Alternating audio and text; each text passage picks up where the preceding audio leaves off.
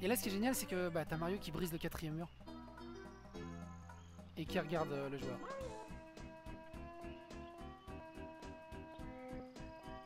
Je l'ai fait je sais pas combien de...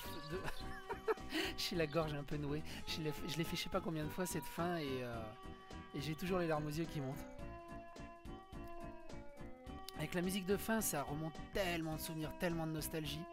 C'est... Euh, c'est trop d'émotions, c'est trop trop d'émotions. La, fin est tellement bien tournée, la musique est tellement bien tournée, les, dialogues, ce petit brisage de quatrième mur. En fait, l'émotion de la scène n'aurait pas été si puissante si Mario ne brisait pas le quatrième mur. Il te regarde droit dans les yeux et te dit merci pour cette aventure et merci de, m'avoir aidé à sauver Peach. Et, euh, euh, on se sent tellement fier et tellement... Euh, c'est magnifique quoi, c'est un truc de dingue.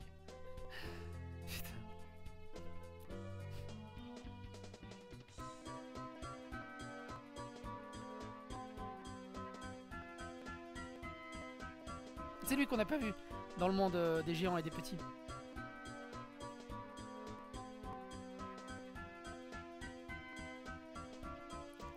Mais je chiale à chaque fin de jeu Nintendo. Mais ils sont tellement bien, ils sont tellement bien foutus, elles sont tellement magnifiques, les. Ils sont tellement bien tournés les, les, les fins. C'est... C'est tellement ouf, tellement ouf.